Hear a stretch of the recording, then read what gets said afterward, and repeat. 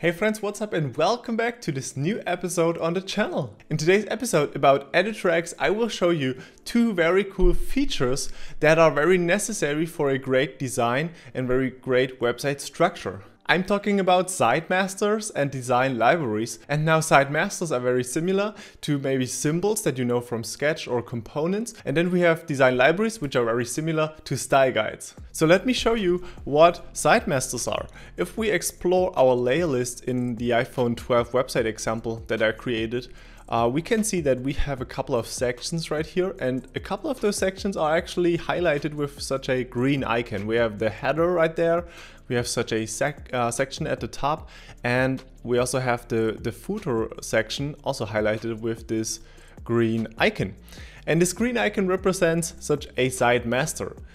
Now you can see it also right here in our canvas we have the header and our section right here and they have such a highlighted uh, color, the green color, while other sections just have this blue color and we can check them out in our site masters panel as well. Here you can see all of our site masters and this little green tick also shows us that these masters are available placed on our website already. Like on this page right here, all of these site masters are enabled, but if I choose a different one, like for example this right here uh, and I refresh the site masters panel, you will see that only the header and the footer are enabled and this section right here isn't available yet. But now I can just click on show on page and it will automatically be placed in here as well and you will see the little tick right there. But let's go back to our main page and I will show you very cool things that you can do with site masters. Okay, so we have our site masters right here. If I click on edit right there, it will automatically bring me, take me to the site master and in here I can change a few things. So for example, I could change the color of this button that we have in here. So if I click on the design part, I can now switch the color that is represented in here, for example, to such a pink. And if I now close up these windows and we check out the site master on a different page like our watch, you will see that it also changed the color for this page as well. And that's the thing about site masters. You change one part of it or the whole uh, section on one page and it will automatically switch the design, switch the style and change it on other on all these other pages as well. So I can now also go into the button that we have right here on a different page, change the color back to the blue that we had, like that. Close these windows. And next up is we can just simply go to our Mac page and the blue color is back again. So site masters are very cool. They behave, as I said, like symbols, components or whatever. You change one thing at a certain page and it will automatically change on all these other pages as well. But how do you actually get one of your sections to be a site master? I will show it to you with this section that we have right here. You simply have to select your section, click these three little dots and go all the way down to set as master and click on section.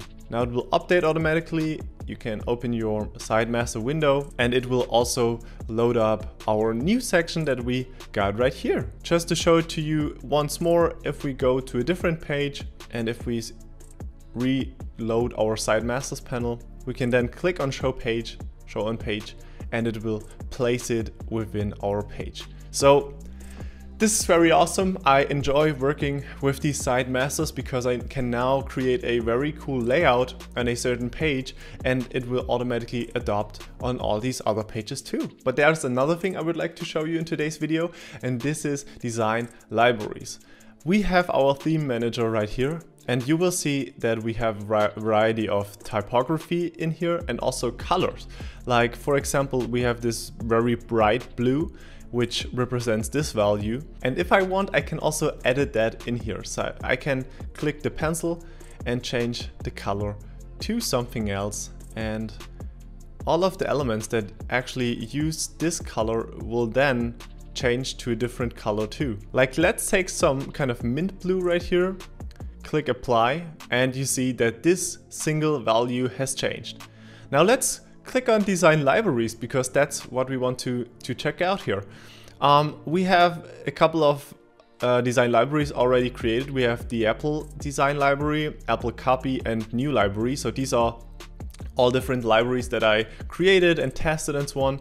But what you can do also as well is to click save colors to library or manage design libraries. If you click on manage design libraries, you get an overview of all your design libraries with the ability to open a new design library, to uh, duplicate a certain library or to delete it. And we can also create a new one right here. So let's go back and let's change the color value again to our mint blue like that. I'm not 100% sure why this didn't change, but we can easily change it from our color panel to this value. And now we got a changed kind of color theme right here. Let's create a new design library from those colors that we just created. And from here we can choose what we want to include in the new design library. We can choose typography on or off and also color themes on or off. I want to include both and I will create it right now. We can rename it right here. I'm just gonna call it mint blue and we can check out all of the assets that we have in here. So now we have another one in our list, the mint blue. And from here we can now also change of course our libraries. I could go for the normal standard version. I could go for this test that, that looks pretty ugly.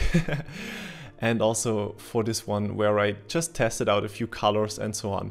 So it's very easy to use those design libraries with typography and also colors to uh, use or create an overall style for your website that you, as I said, change similar to SiteMasters on a single place and it will automatically change for all of your sites and all of those elements which are using a certain color or a certain typography element. If you want to change a whole set of colors, you don't have to go all the way and change every single one of them.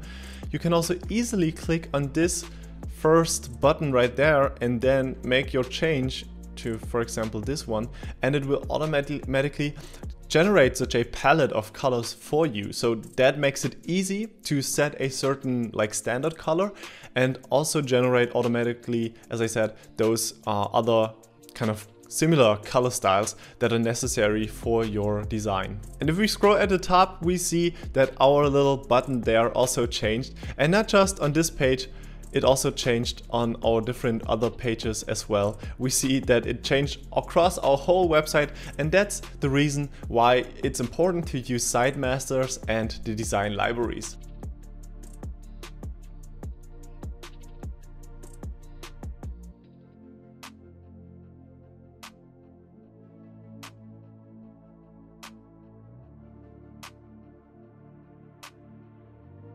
I hope you enjoyed today's video tutorial. If you liked it, hit the thumb up button on this video or subscribe if you haven't already. If you have any questions, shoot them down in the comment section of this video and we will see us in the next episode.